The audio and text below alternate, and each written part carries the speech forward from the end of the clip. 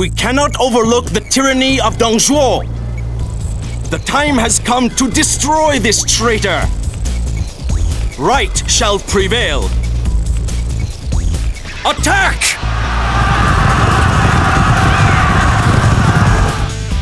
You pitiful fools!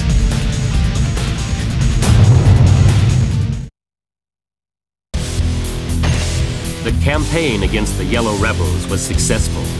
However, the hard-won peace was short-lived. Emperor Ling died and the land was once again plunged into war. One man clawed his way to the top during this time of turmoil. His name was Dong Zhuo.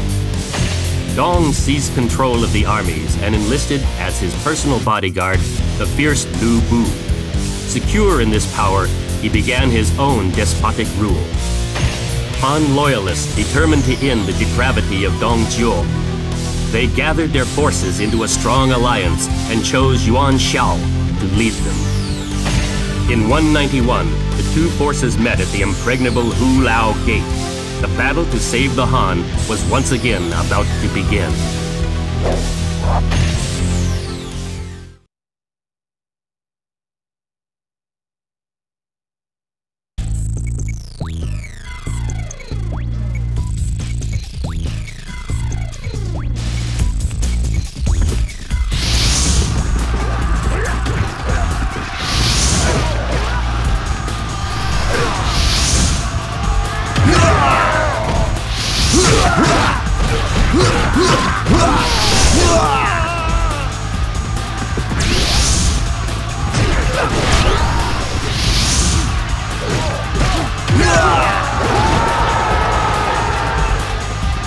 Ugh!